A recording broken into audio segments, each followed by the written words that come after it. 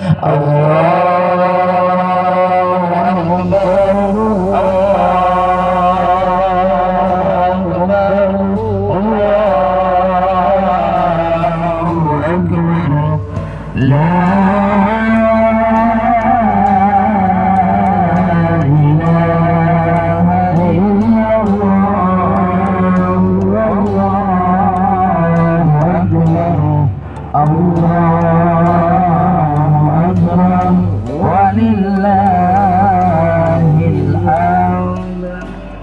مخلصين له الدين ولو كره الكافرون والمنافقون.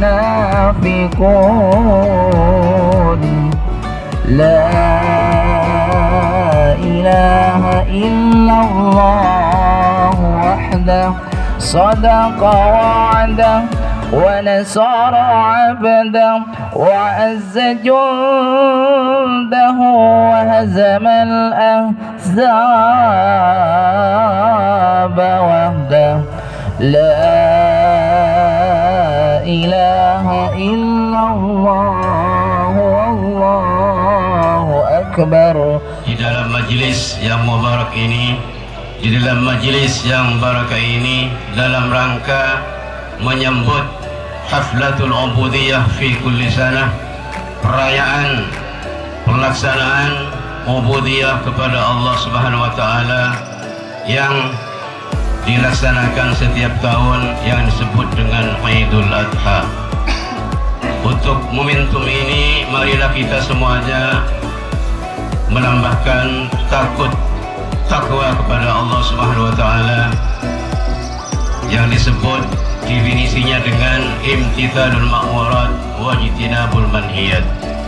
At-taqwa huwa ibaratun an imtithalil ma'murat wa jitinabil manhiyat.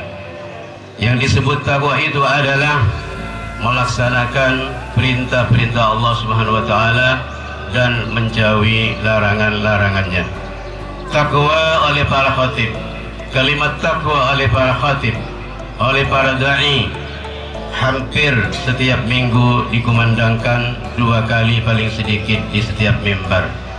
Sangat mudah mengatakannya, sangat mudah melafatkannya, namun sangat sulit bagi orang yang tidak dapat taufik dan hidayat untuk melaksanakannya.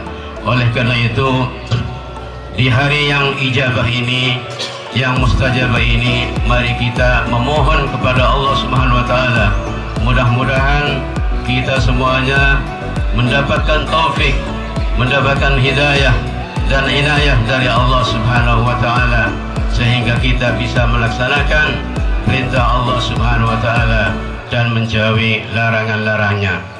Orang yang hanya melaksanakan ibadah, takwa ibadahnya, taatnya rajin, istiqamah kepada Allah Subhanahu wa taala, tapi dari sisi lain dia masih melakukan maksiat dan mungkarat serta mukhalafat.